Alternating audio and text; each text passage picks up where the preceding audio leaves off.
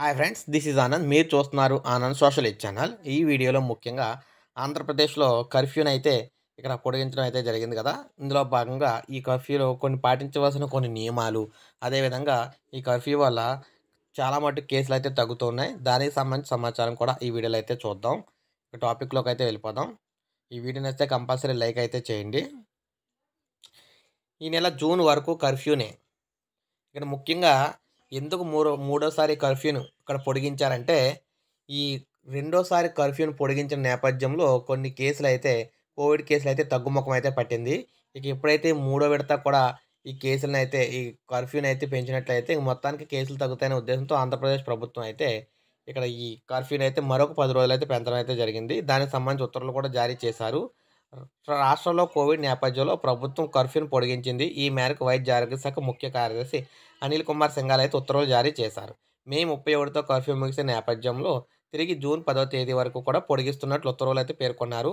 గతంలో లాగే మధ్యాహ్నం పన్నెండు గంటల నుంచి మరుసటి రోజు ఉదయం ఆరు గంటల వరకు కూడా కర్ఫ్యూ కొనసాగుతుందన్నారు. ఉదయం ఆరు గంటల నుంచి మధ్యాహ్నం పన్నెండు గంటల వరకు కూడా సడలింపులు ఉంటుందని ఆ సమయంలో ముందులాగే వన్ ఫార్టీ ఫోర్ సెక్షన్ అమల్లో ఉంటుందన్నారు. ఎవరైనా కర్ఫ్యూ నిబంధనలు పాటించకపోతే వారిపై కఠిన చర్యలు తీసుకుంటామన్నారు. జిల్లా కలెక్టర్లు ఎస్పీలు పోలీస్ కమిషనర్లు దీనిపై పర్యవేక్షణ చేయాలని ఇక్కడ సూచించడం కూడా జరిగింది.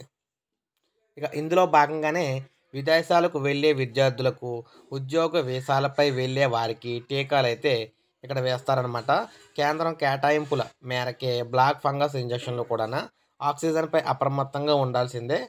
ఇక్కడ మహమ్మారితో తల్లిదండ్రులను కోల్పోయిన చిన్నారులకు మెరుగైన వడ్డీ వచ్చేలా పథకాల్లో మదుపు చేయాలని చెప్పేసి సీఎం జగన్ గారు అయితే తెలియజేశారు. కోవిడ్ నియంత్రణ నివారణ వ్యాక్సినేషన్పై ముఖ్యమంత్రి జగన్ అయితే ఈ విధంగా ఉన్నత స్థాయి సమీక్ష అయితే నిర్వహించారనమాట ఇందులో భాగంగానే ఇక్కడ కర్ఫ్యూని అయితే పొడిగించడం అయితే జరిగింది.